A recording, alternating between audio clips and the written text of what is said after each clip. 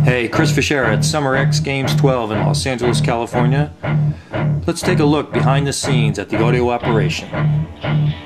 I'm standing outside ESPN's new high definition mobile truck SS25, which will be used for Monday Night Football. Let's go inside and take a look at the new 5.1 surround sound controller.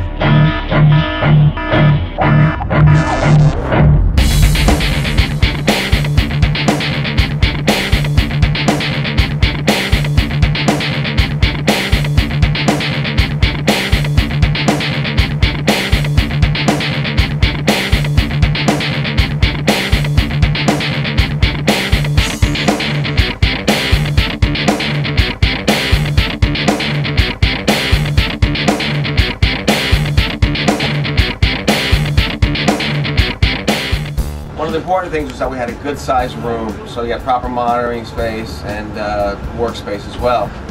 They go hand in hand, obviously, when you're on the road, and uh, any working environment needs to sound good and be functional. Functional. So what we did is built this big room, and uh, as we walk around here, we we're coming in the room. We got a total workspace back here where uh, any number of projects can go on. We can stage. People can sit here with computers. People can sit here with gear, and of course, the business end up here in the front is where the mixer sits. Mark's sitting here uh, prepping up for Moto. And uh, he's, he's working on a latest series of uh, Alpha Bluefin and uh, really great console. Of course, we complement it with our full set of blue skies. We've even gone as far as to use PFLs uh, with full range capacity so we can solo PFL uh, and uh, QC inputs before we put them on the air. If we think we hear something, take it off the air, in play solo or pre-fade listen, uh, full bass management control. Uh, as you can see, what's really cool about this truck, and besides the size, is this overbridge generally has a lot of processing gear in it. Well, what we did is we put monitors up here because show that uh, this truck would do, and it's a Monday Night Football truck. We're doing a lot of major, uh, lot of major events, including this Moto event at X.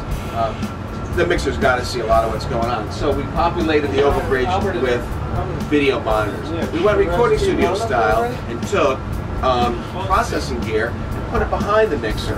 Uh, that's always proven to work well in studios, and you know traditionally that's been in the overbridge for, uh, for for TV broadcasters. But because of the size of the room, there weren't patch bays right behind them. Put the patch bays to the sides, side here, which gave us this workspace area and the face of it to house all our traditional plus a lot of extras in processing gear. Um, again, limiters, delays, surround gear, and so forth.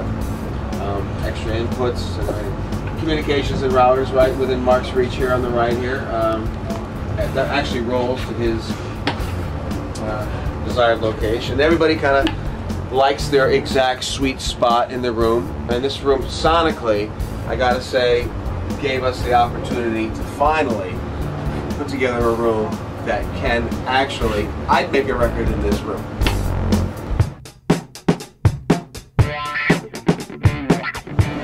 Right now, we're doing some executions. Um, they added a whole bunch of graphics to us at the last minute, and we are going the sound design to the graphics. How you doing guys? My name is Ryan Gutla and I'm gonna step by step show you how to do a war flare. As you come in, try and get a couple of pedals early, crank up the war ride, suck up We've already done the, the nats and the music, um, and now that they've done a graphics treatment, we need to sweeten those up with some sound effects. That should take us anywhere from five minutes to an hour and a half, depending on how much time they give us. Usually it's closer to the five minutes.